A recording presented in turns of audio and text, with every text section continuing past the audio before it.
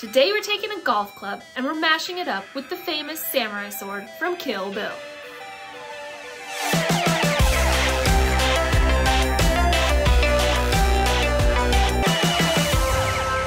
We definitely need a guard like they have on samurai swords, and the leather grip ties.